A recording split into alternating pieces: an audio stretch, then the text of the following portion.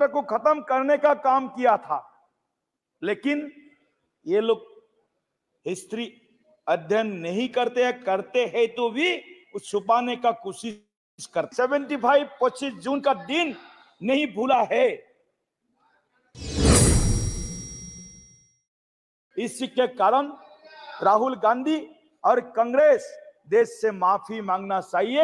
1775 ने हमने जो किया था, वो गलत किया था। संविधान को खत्म करने वाला काम किया था। आज हमको हँसी आता है देख सभापति जी, देश के लोग आज शिक्षित है, जागरूक है। देश के लोग इनके जो हाथी के दांत जिस तरफ़ होते हैं, एक दिखाने वाला दांत होता है, एक खाने वाला दांत होता है।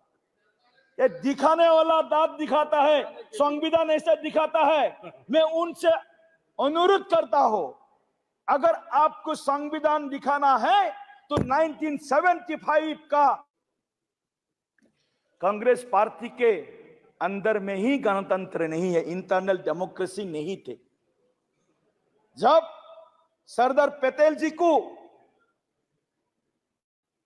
कांग्रेस स्टेट कमिटी ने उनको प्रधानमंत्री के नाम पर मोहर लगाई थी, तब सरदार पटेल को मेजोरिटी समर्थन आने के बाद भी सरदार पटेल को छोड़ करके नेहरू जी को प्रधानमंत्री बनाए गए थे।